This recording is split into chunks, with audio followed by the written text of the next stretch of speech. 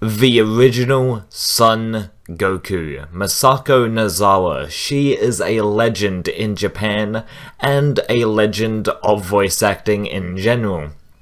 What makes her so good? Well, in today's video, I discuss why Masako Nozawa is the best Goku, at least in my opinion. Everyone has their preference. Uh, usually, it's uh, the voice that um, you know you sort of uh, uh, get first introduced to, that's sort of your favorite, or at least uh, for the time being, like your mainstay.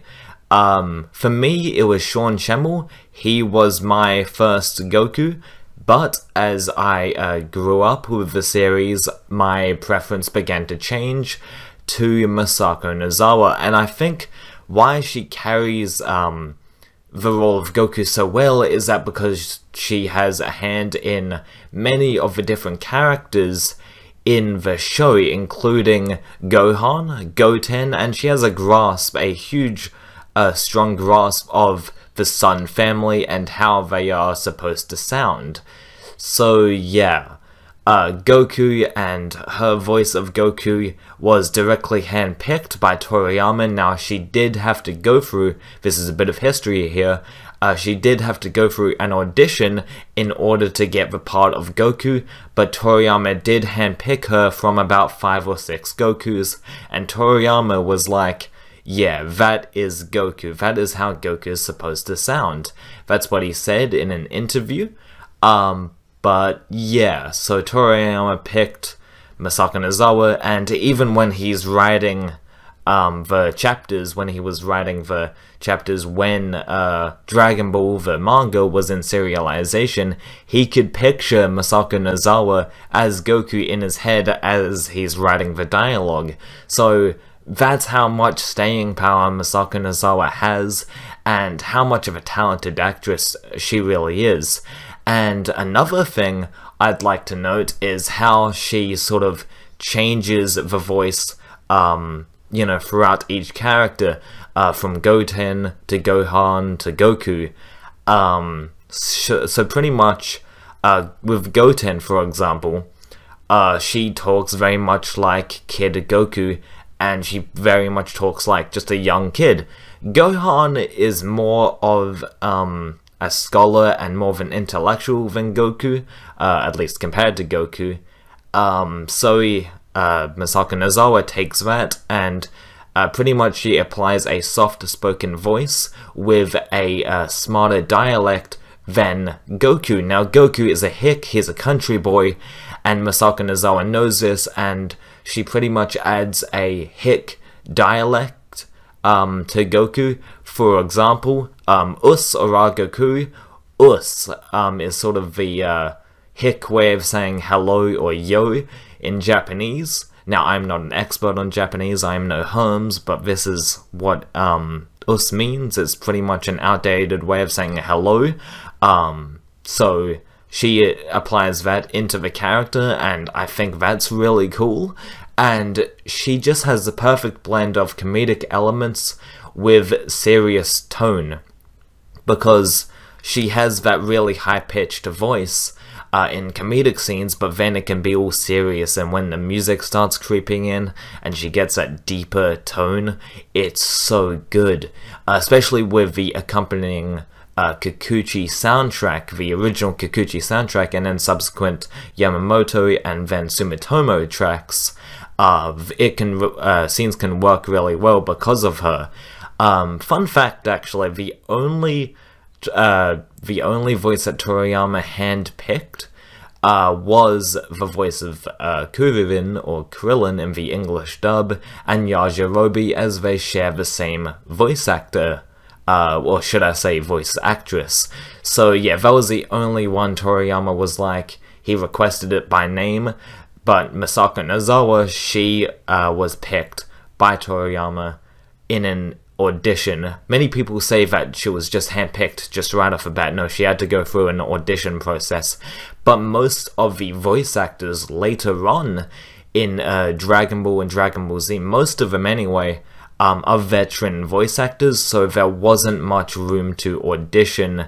Anyway, to conclude, Masako Nozawa, she is a legend in voice acting, and she has really paved the way for, um, you know, other voice actors that, um, you know, voice uh, main characters in shonen. She really is influential, and even if you dislike her, um, try try it again. Try watching Dragon Ball in Japanese because she really does a good job and she's um you know she's pretty old and she's still giving it her good go.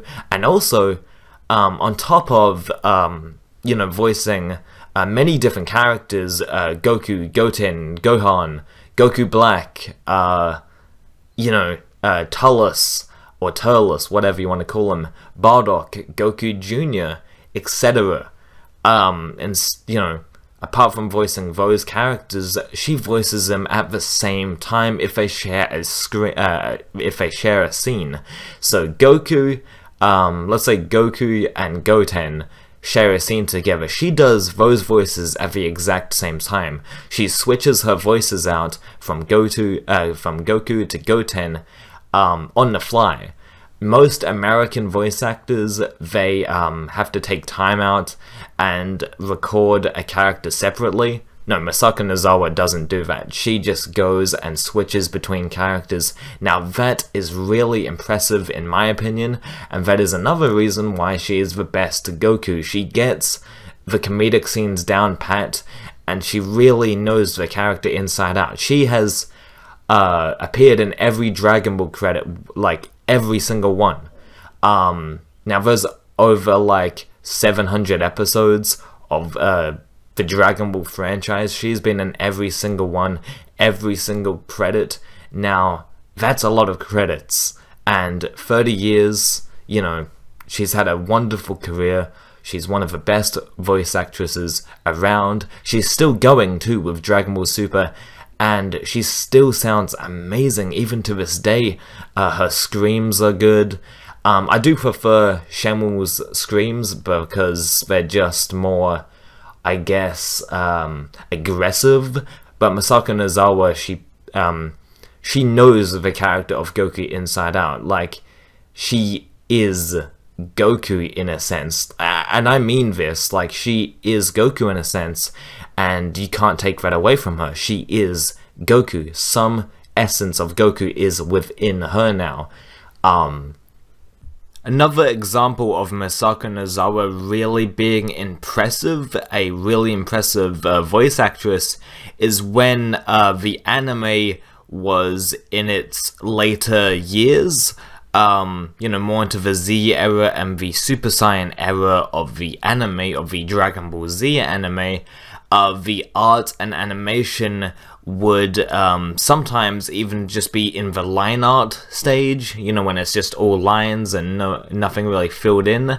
Uh, Masako Nozawa and the other voice actors, they needed to still record their lines when it was just line art because the schedule was just that tough, and also doing two movies a year.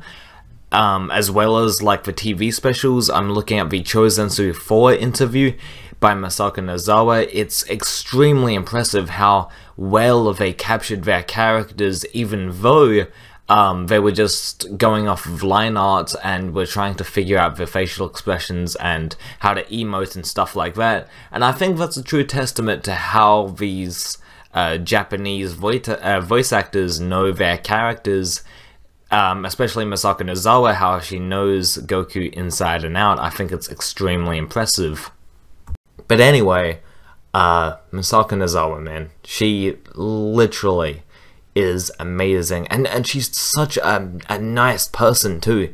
Uh, she gets um, messages and she sort of, um, you, you know, uh, sends messages over to like kids in Japan. Like she's just a very uh, sweet and innocent lady. Like she's a very nice old lady, um, and she's very pure very pure like Goku, um, which I think, yeah, uh, like this is speculation on my part, but it could be partly why Toriyama picked her for the role is because he saw how pure uh, she really is and how that pureness is um, sort of bouncing off of Goku and sort of reflecting on Goku and the voice, and it, it's just incredible. She really does a good job, along with all of the Japanese cast. All of them done a, uh, all of them did a terrific, uh, terrific job in Dragon Ball Z, and are still doing a terrific job in Dragon Ball Super. And I cannot wait until Masako Nozawa delivers uh, those lines in Dragon Ball Super episode 102 oh my god, I dated this video, it's okay. Um, but I cannot wait for her next performance as Son Goku, our favorite hero of anime and Dragon Ball. See you guys next time. Hopefully, you rate, comment, and subscribe. If you're new, Frozen Particle does everything Dragon Ball, from Dragon Ball uh, V manga to Dragon Ball Super, and everything in between. We do in-depth analysis, we do reviews, we do news videos if you're into that kind of thing, we do theories, everything is um, on in Frozen Particles YouTube channel. So please check it out. Uh, please subscribe if you are new. Catch you next time.